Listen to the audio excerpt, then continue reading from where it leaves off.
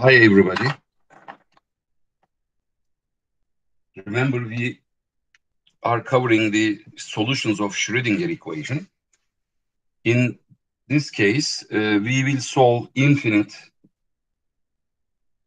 square well potential. what does it mean? The potential is defined as infinity when x is less than minus a over 2 or x is greater than a over 2, but 0 when x is between a over 2 and minus a over 2. So we can show this as graph, okay? So if this is x and this is potential, and this is minus a over 2 and this is a over 2 so we have infinitely big potential and this potential is continuous. This the other side this is all infinite right? This is all infinite. That's why we cannot really show this part because uh, infinite is not defined. But here it's zero. It just jumps to an infinite value and this becomes like a well, right? So only between minus a over 2 and a over 2, the eigen values are possible. So eigenvalues will be En. So the energy is a function of some mode numbers. So it means the energy will be discrete here. Discrete energy. So it you can think this of uh, some uh, quantum mechanical particle uh, really kept inside this region and cannot go outside. And the thing is that because we have infinite uh, potential here, uh, we have uh, phi equals zero in this in these regions on the left and on the right. So we have to have uh, the uh, the wave function to be zero on both sides. So we have a boundary conditions here uh, being phi equals zero. So we will show this. Now. So now if v is zero here, then we can write the Schrödinger equation as, okay, given by minus h bar square over 2m d squared phi over dx squared which is equal to E phi. So this is the only region we are solving the potential, okay? Uh, the uh, function, wave function. Here, we didn't put the potential uh, in this expression because the potential is equal to zero here. So for V equals zero, we have this. So now we can uh, modify this equation to write d squared phi over dx squared, which is equal to minus k squared phi and k squared is given by e over 2me over right? 2m is going to multiply this right hand side divided by h bar squared. So this is the equation to be solved and we know that it's like a bunch of sine and cosine uh, or just e exponentials. But since uh, we have we we have this wave uh, which is really kept inside, uh, okay, in this case, we can assume that psi can be a bunch of sines or cosines, like a sine kx plus b cosine kx. It can be a bunch of sines and cosines. Why? Because uh, if you take the second derivative of sine, you get exactly the function itself with some kind of constant and there, there will be some minus sign. So this constant should appear in the phase of these sine and cosine. And A and B are different, uh, different uh, coefficients. If we had this potential well, which, uh, which is the uh, objective of the second example today, if we have enough time, if we say that this is x equals zero and this x equals a, then we could pick only sine, right? Because we know that sine becomes zero at these points when these points, so sine is already zero at x equals zero, right? Because of this, right? The, the phase includes uh, x, but now we can make uh, sure that sine is zero at this point, and we can say that uh, kx uh, is equal to n pi. So from this condition, we can satisfy that only one term, which is related to sine kx, uh, will will give you this solution. But not not in this case because we have minus a over two and a over two. We have to have two terms. Okay, when we have minus a over two and a over two as the limits. So now let's see what we have. So we know that uh, actually phi is the solution. So we know that phi x should be zero at x equals plus and minus a over 2. So this is the boundary condition. Boundary condition at these two boundaries. Okay, so these are the arbitrary, a and b are the arbitrary constants that we will uh, we will have to solve. So for x equals minus a over 2, we have now 0 equals, because the, the function should be 0, a times sine k a over 2 plus b cosine k a over 2. Okay, but uh, we have to use minus signs, right? Minus a over 2. But we know that cosine minus theta is cosine theta, but sine minus theta is minus sine theta. So we can just write this as 0 equals minus a sine ka over 2 plus b cosine ka over 2. Okay, don't forget, we use these properties. Sine minus theta is equal to minus sine theta, but cosine minus theta is equal to cosine theta.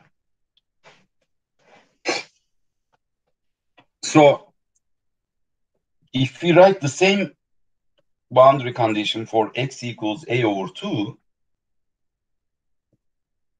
for x equals a over 2, okay, then we have a times sine k a over 2 plus b times cosine k a over 2 equals 0.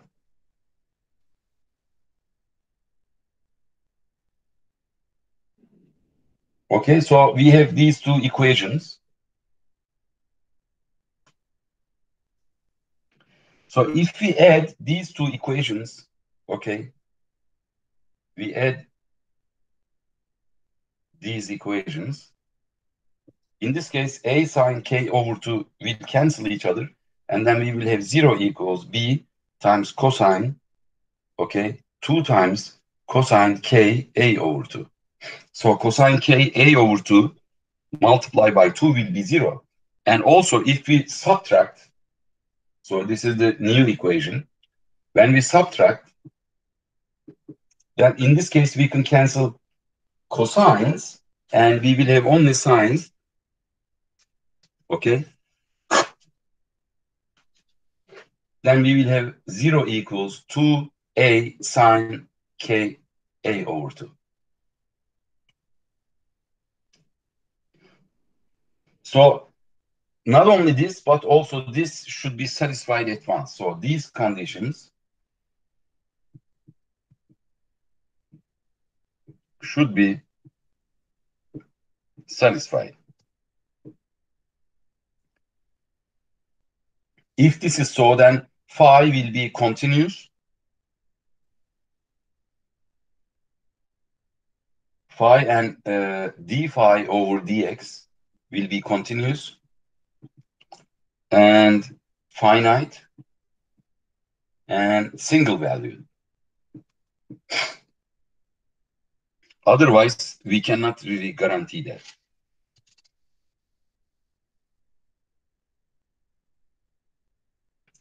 So now, but there is a problem because uh, this uh, d phi over dx, d phi over dx will be discontinuous. Because here phi is zero and we have this kind of uh, uh, value for this for phi and similarly on the left. But when we have this kind of problem, uh, this kind of solution, you see that there will be some kind of uh, slope on, on this side. Okay. Uh, sometimes phi can also be negative. Uh, as you see, just on the left side uh, of this discontinuity, there is uh, there is a negative slope here and positive slope here, positive and negative, and similarly positive slope and negative slope there. But now phi, phi is zero, the slope is zero also here. So there is a slope discontinuity, but that's okay. This is this is acceptable. This is uh, this gives us some kind of information about what what happens inside this uh, well. So now, so we have uh, either in order these to be zero, okay, we can have either a equals zero and this is equal to zero, or so let's write the possibilities. We have to satisfy these two equations at the same time. So one, a can be taken as zero, so that the whole expression is zero. And then b, of course, is not taken as zero uh, because otherwise there is no solution. In this case, cosine ka over 2 is equal to 0. If we can guarantee this, this is okay. So this is one of the possibilities. And the other possibility, when we take b equals 0 and sine ka over 2 to be 0, then, then it's also okay. In this case, there are two classes of solutions.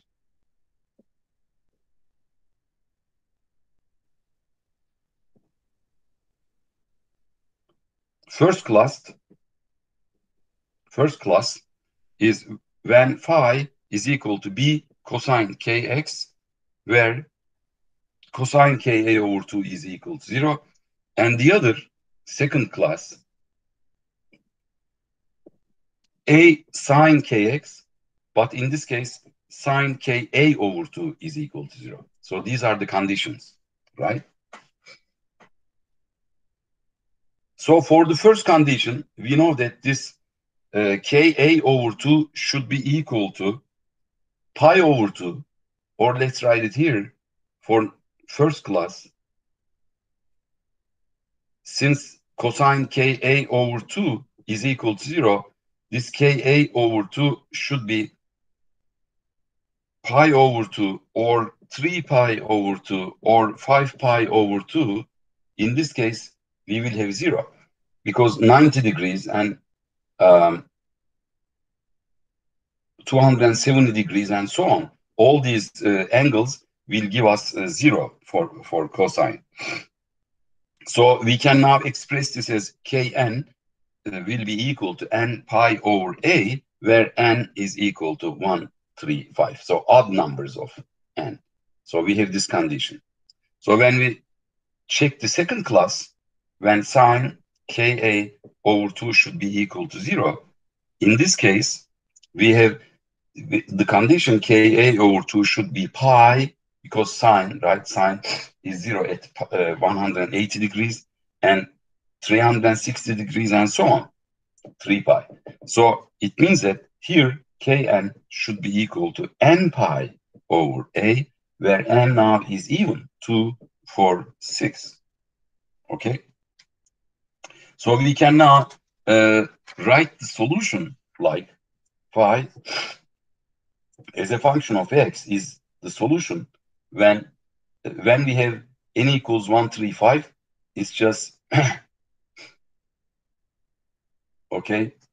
For the first class, we cosine kx, where knx, where n, okay, or let's write uh, kn and pi over a, okay, because it's it's given, where n equals 135 and so on. But when n is even, then we have sine, sine, a times sine n pi over a, where n is equal to 2, 4, 6, and even numbers. So we can represent the solution like that. So for different modes, uh, different functions are uh, taken into consideration, either cosine or sine. So this is the solution. This is the generalized solution. So this is the uh, particle in, in the box. So this is the solution for particle in the box. So look at this Kn now. Kn. What was the value of K? Remember that E was equal to h bar square k square over 2n.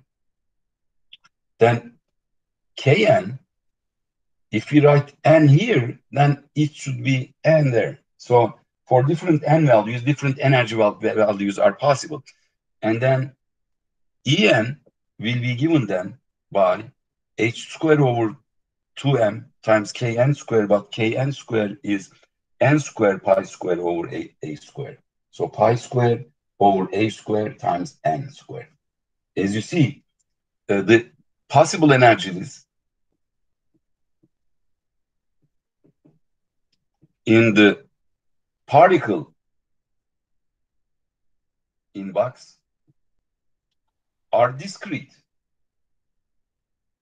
or quantized. So different mode numbers. So if we just consider E1, for instance, E1, which is now we have E1 is h square pi square h square divided by 2m a square. So this is zero point energy.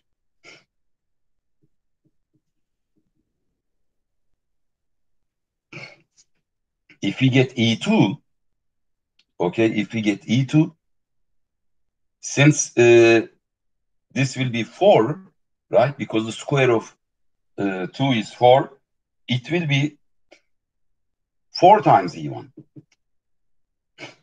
So if we get E3, E3 will be 9 times E1. As you see, the differences between the energy levels is increasing. So if we continue doing this so, we can see that, okay, we can see that the energy levels inside this box, okay, the energy levels is first one is E1 there minus A over 2 and A over 2 and E2 is above E1 but E3 has greater distance to E2 and so on. So this is E4. As you see, as you go up, the distance between the energy levels increase. So this is really interesting case. Okay? Interesting case. So now we would like to find out what kind of solution we have. Okay, what kind of solution we have.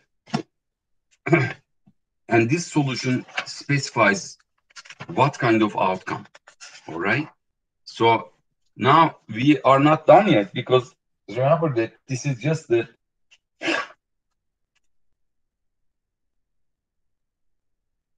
this is just the um, wave function as a function of x, but the wave function is also a function of time where uh, let's leave this uh, result here where we have to write uh, the wave function as the product of this phi and exponential. Okay. So now, uh, then the wave function is given by either, okay, A,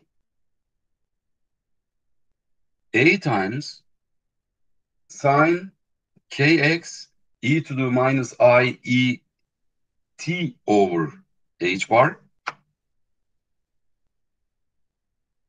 Okay. For n is equal to, okay, when n is equal to, or k is equal to n pi over a, where n is, is equal to, okay, when n is equal to, for sine, it was, uh, for sine, it was uh, just even, right? Uh, n values, 2, 4, 6, and so on. Or b times cosine kx e to the minus i e t over h bar when kn kn is given as n pi over a but now in this case n is, is equal to 1 3 5 and so on. So odd numbers of k k. But now we have to normalize this in order to find to find a and b we need normalization. What is normalization? The normalization states that if we get the probability density, okay, in all the space from minus infinity to infinity, it should give you one unity. So what is the probability density? The probability density was is given by, okay, psi star times psi. Don't forget. So we have to put this solution here, okay, and get psi uh, star times psi, and then say that this is the solution. So now the first one is that since we have the summation, uh, we have the summation for psi, we have to satisfy the condition where so let's get uh, this first one and second one. Okay, let's write this as the first uh, part of the solution and the second part of the solution. If we insert the first part of the solution, we have to get uh, psi 1 star, which is just a sine kx times e to the i e t over h. The only difference between this one and that one is that this sign is now plus because this is the only context part. And then since psi 1 is given by that, psi 1 star times psi 1 gives you just a squared sine squared kx. And these terms cancel each other because one is e to the i positive exponent and the same exponent with negative so that they cancel each other, e to the 0, which is 1. And similarly, if you say, see that psi 2 star and psi 2, the product is just b squared over sine, uh, cosine squared kx, then we have to perform these conditions. From minus a over 2 to a over 2, because we don't need to get uh, these infinite values for x, because we know what happens on the left and right of a minus a over 2 and a over 2 so that we just took the limits from here so that a square sine square kx or instead of k let's write the value n pi over ax dx is equal to 1 so this is the first condition should be satisfied and similarly from minus a over 2 to a over 2 b square cosine square now n pi over a x dx should be equal to 1. Now, we have to solve these uh, equations, but in order to solve sine square and cosine square integ integration, you have to remember this. Cosine 2x is cosine square x minus sine square x. Remember? Okay? This is how it is written. Cosine, so this is uh, Okay, this is uh, the trigonometric relation that you will remember. But now if you write uh, sine square theta as 1 minus cosine square theta, or x, it will give you just 2 cosine squared x minus 1. So it, it is equal to cosine 2x. Now, also, if you write cosine squared theta as 1 minus sine squared theta, or x, and minus sine squared x, then the cosine 2x in this case will be equal to, will be equal to just 1 minus 2 sine squared x. So by using these expressions, we can write sine squares or cosine squares as a function of cosine 2x. So the first one gives you cosine square x, which is equal to, okay, 1 plus cosine 2x over 2 and sine square x is 1 minus cosine 2x over 2 because you put this to the left hand side and this right hand side so that the minus signs will cancel but this cosine 2x will be negative when it is uh, placed in the right hand side. So this is what we will have. So now how can we satisfy this? So if we put this into these expressions, okay, we have to uh, perform the integration. So let's uh, write this uh, somewhere else, okay, here.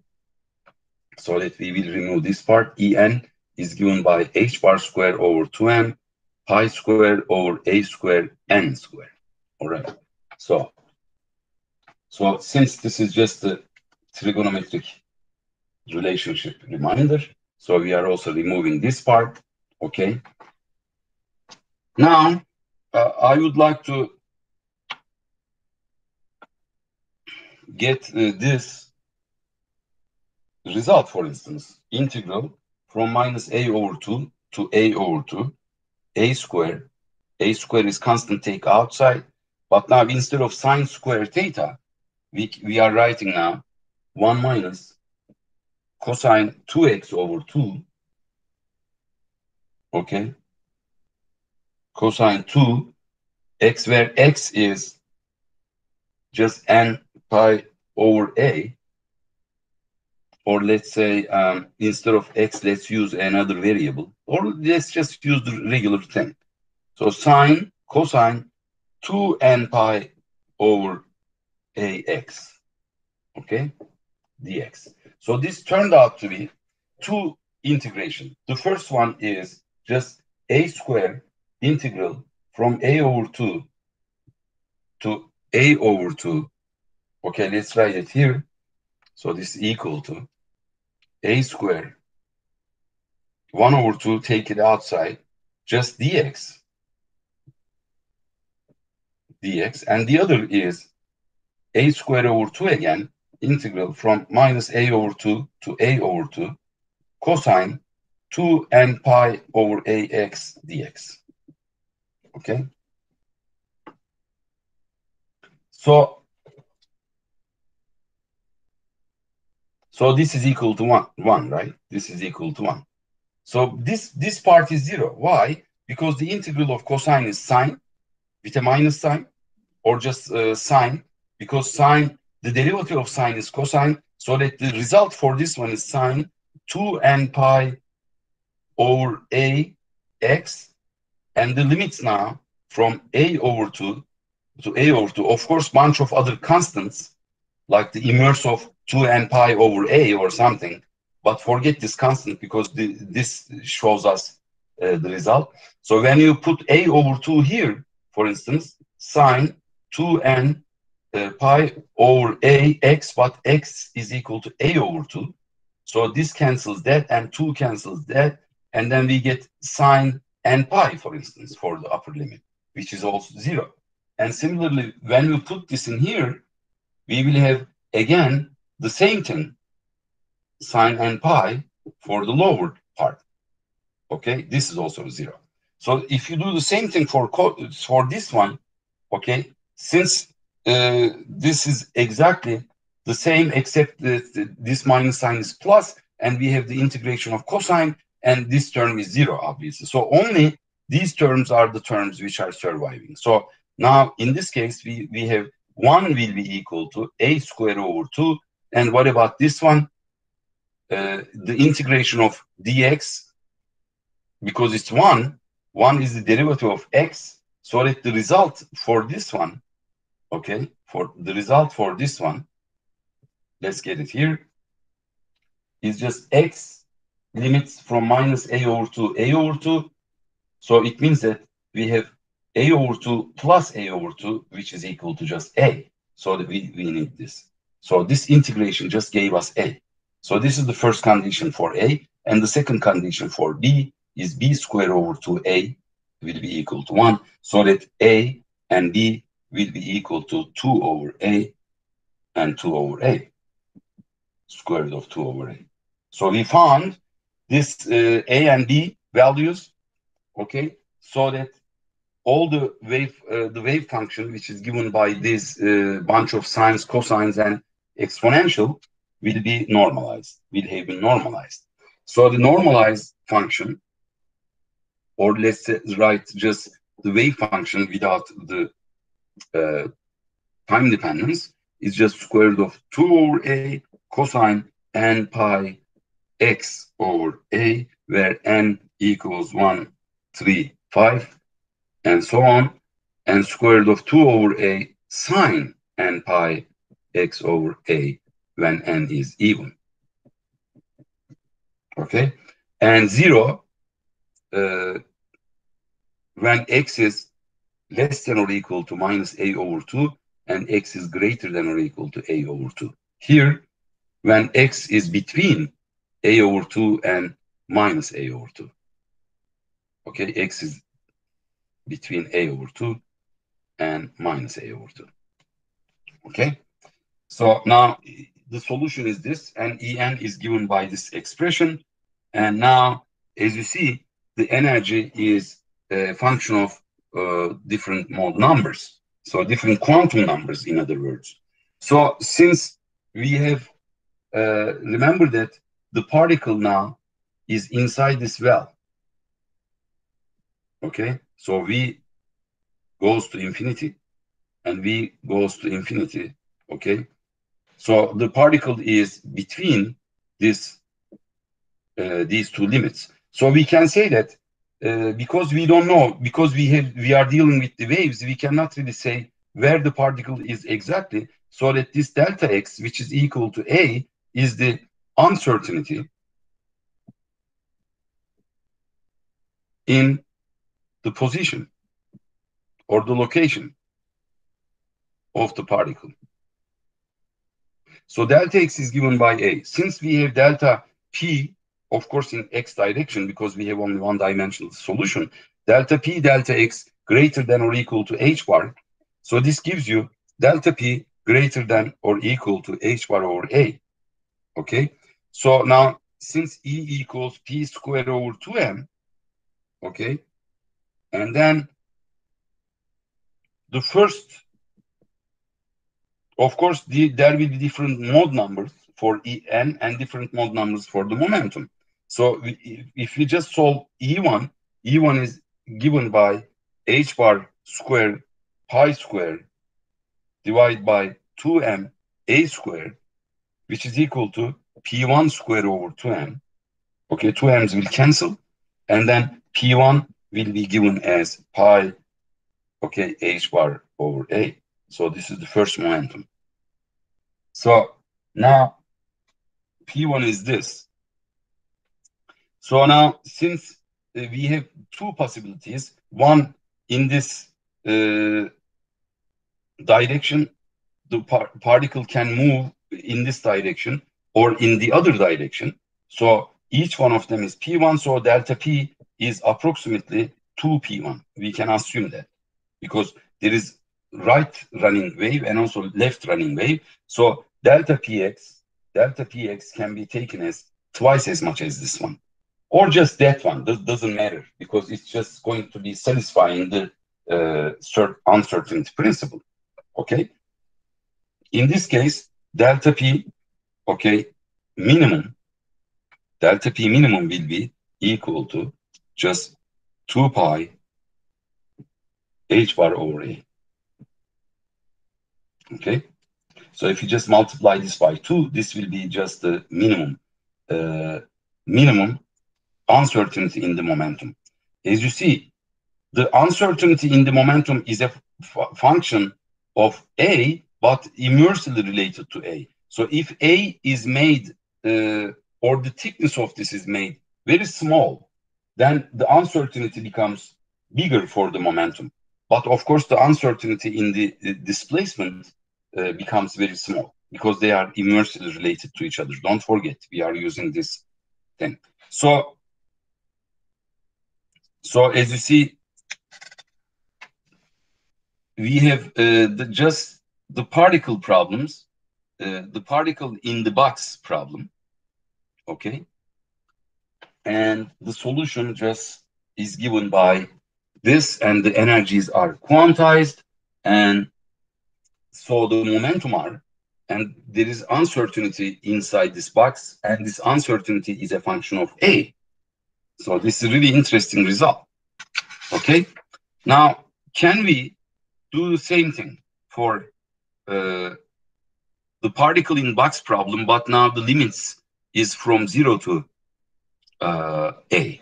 We can do that okay so now this is the second example which is easier to solve Okay, so particle in box again.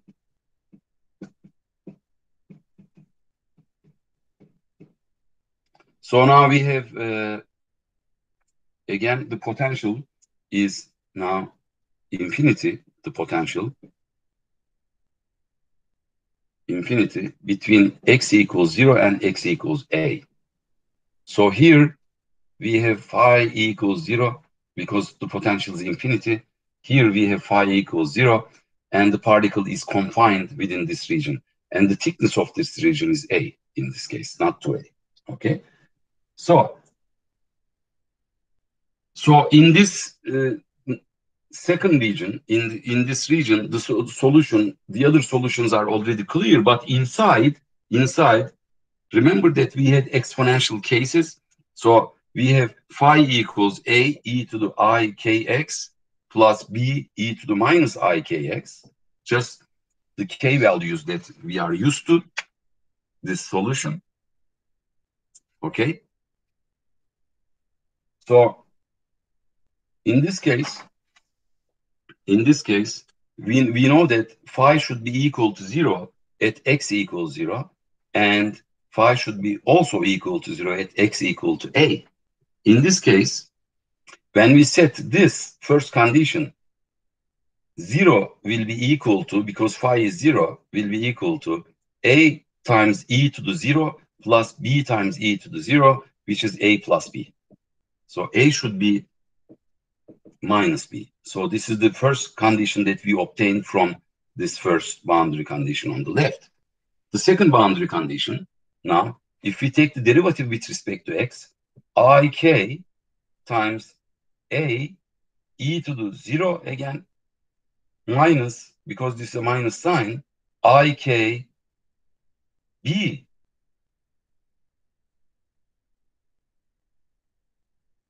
Okay? Ikb e to the 0 this is equal to 0 again and then we have to have a equals B from here, A equals B. So we said that in this case, we have uh,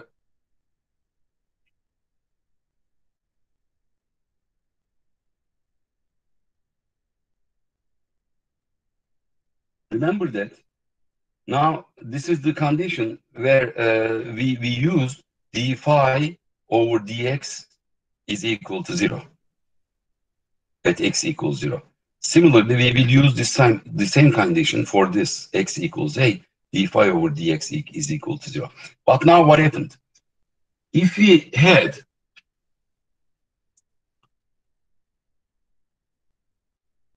if we had this condition and this condition at x equals 0, we had two uh, contradictory results. We can have two cases, either A equals B or A equals minus B. Let's see what happens when A equals B. When A equals B, we have now phi equals, okay, B times e to the ikx plus e to the minus ikx, which is equal to 2b cosine kx, right? Because the coefficients now became b and we factored out and we use the properties of these exponentials. And then this is what we ended up with. So phi will be equal to b, okay, times b prime. Let's let's do this. Let's uh, give a new name for this 2b b prime cosine kx. So phi will be related to cosine kx, by the way. But when a equals minus b, then phi will be equal to a, okay, e to the i kx minus e to the i kx again with a minus sign. Okay, so in this case, it will give us 2ia, okay, 2ia sine kx so that phi will be now, if we define this 2ia as a prime, phi uh, will be given as a prime times uh, sine kx. So two solutions are possible. So in this case, in general, we need, if this is so, then we need solutions like uh, phi is equal to a sine kx plus b prime cosine kx, just like we have done before, okay? So, but now we have shown that using exponentials also, we show that this kind of solution is possible. So in previous example, we just took this solution right away, but we, we could use also this kind of uh, result. But uh, not only the phi should be zero and derivative should be zero uh, at x equals zero, but uh, also the function should satisfy the similar condition at x equals a. So that now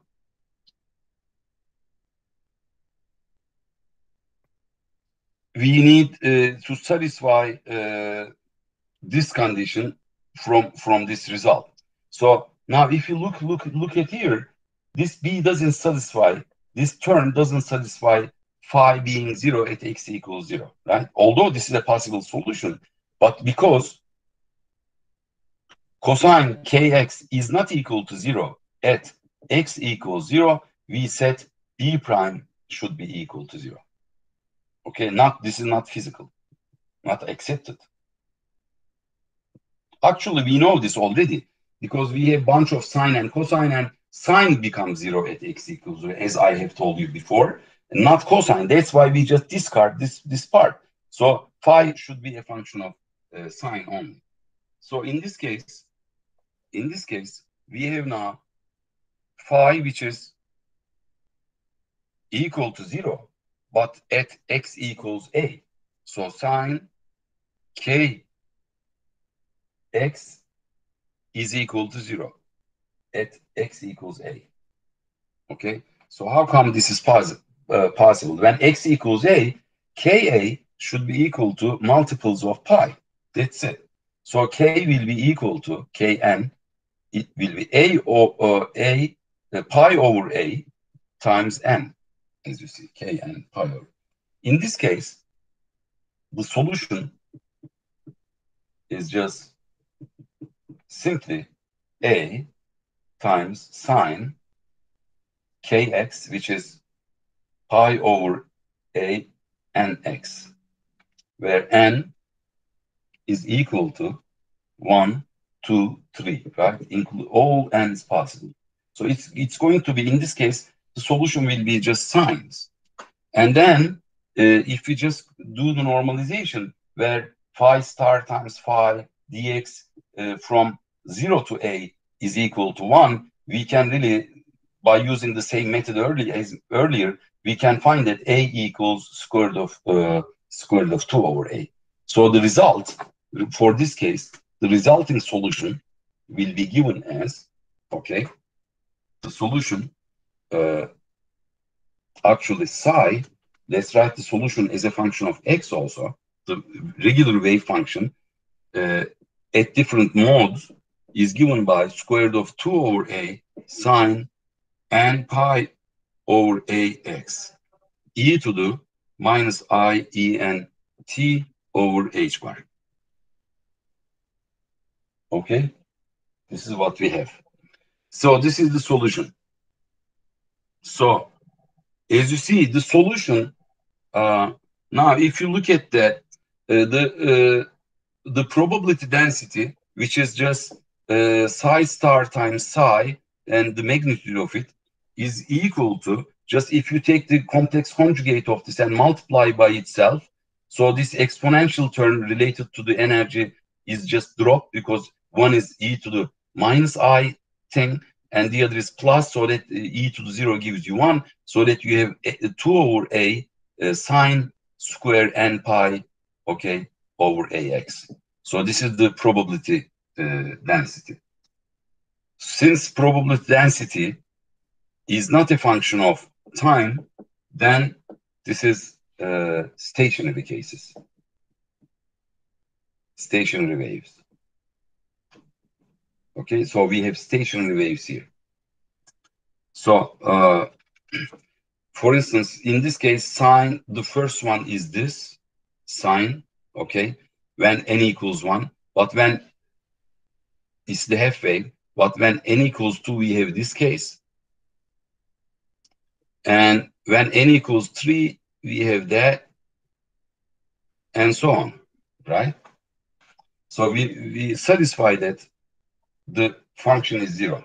But we cannot guarantee that the derivatives should be continuous. Derivatives, of course, are not continuous at the boundaries. Okay? So now what happens is this. Suppose that we have two different levels. Two different levels. One is levels n and n prime. Let's consider. Remember that the energy levels here was uh, different uh, values, right? E1, E2, and suppose this is En, and then another level is En prime. So we are now considering this these two uh, energy levels. Now, the first energy level has this function, psi n, which is equal to square root of 2 over a sine, okay, n pi x over a times e to the minus i t e n over h bar. And now uh, psi n prime is equal to square root of 2 over a sine n, okay, prime, n prime times pi x over a. So prime is about n, by the way, times e to the minus i t e n prime over h bar. Okay, so these are the two wave functions in these two energy levels. Maybe one is like that and the other is maybe like this, but always guaranteeing that uh, they have zero on the boundaries. Okay, in this case, what about this psi, which is just the summation of this psi n plus psi n prime? This is called uh, summation principle. Okay, according to the summation principle, uh, we can say that new wave function can be obtained by just adding them up and then okay dividing by square root of 2 this is just the normal normalization constant. But doesn't matter this constant is not important. When we add this it means that we have now relationship between the two energy levels so in this case, we have to add the uh, the functions. Okay, but now the, let's look at the probability density. Since probability density is uh, just related to psi star times psi, psi is the summation of these two energy levels, and we have to take the magnitude, by the way. So it's given as just the square of uh, these uh, terms, okay, uh, the, Okay, now let's write psi star. Psi star is just the same thing without uh, minus sign. So that, uh, as you see, we will have now sine square n pi x over a plus sine square times n prime pi x over a So this is going to be the first term. The second term is just 2 times sine n pi x over a times sine n prime pi x over a. Okay. So this will be the product of uh, these uh, coefficients, the square of this, right? Coefficients, including uh, this, right? So remember that this is obtained from the complex conjugate of this function, which is the summation. But the summation, the complex conjugate has only plus sign in the exponent. Don't forget. And now, if we take the square of this, okay, it will be giving you as a coefficient. So this will be just the coefficient times e to the e to the it en over h bar okay minus e to the minus it en prime over h bar. Okay? so we will have to multiply this by that. So it's it's really clear that this uh, this difference this difference gives you just cosine okay t uh, en minus en prime divided by h bar. So now when we when we look at this case, this is more important. The, the, uh, the, coefficient is not so important in space, but this is related to the energies. As you see, now uh, the, the probability density is a function of time now. Okay? When we consider the first, uh, the, the two energy levels. In this case, if this is a function of time, it means that there is uh, some oscillations.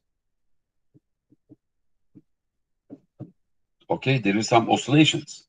In this case, the frequency of the oscillation is just this omega, right? Because we have now cosine omega t, something like that. So the, when we have oscillations, we will have some kind of uh, frequency times time. As you see, time is multiplied by this frequency, and then this frequency as a function of different mode numbers will be given, of course, En minus En prime over H bar. So this is really interesting. So what, what happens is that if there is a energy uh, level change, if you jump from one energy level to energy level, there is some uh, oscillation frequency so that uh, this is related to, the frequency is related to the difference in the energy levels divided by h bar.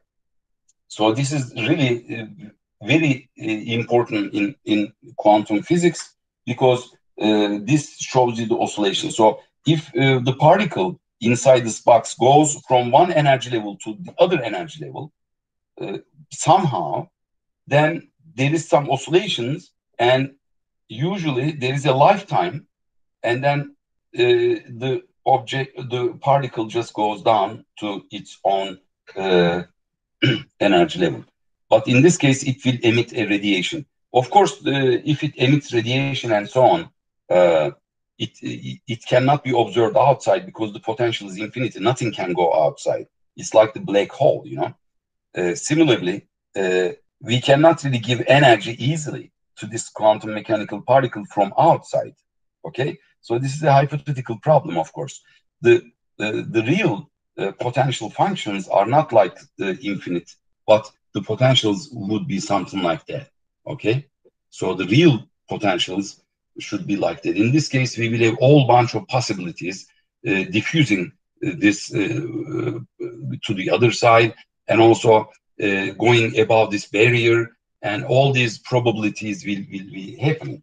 But now not in this case because this is just a theoretical thing which does not exist in real life. But it shows, even this simple example shows that the, the, the probability density becomes a function of time when you consider two different energy levels.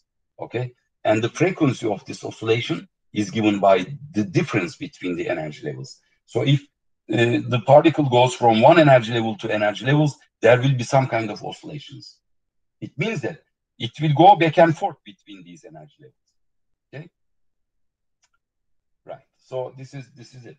So if this is in the actual case where there are energy levels also in this potential well, but uh, regular potential, then of course the changing in energy levels will create some kind of photons. Maybe some photons will be also going outside this barrier. And then this is actually the basics of the uh, nuclear decay. So it's radioactivity business. So we, we just touching that problem in this uh, course. So this is the end of today's lecture, guys. I hope that you enjoyed. And please study hard because the exam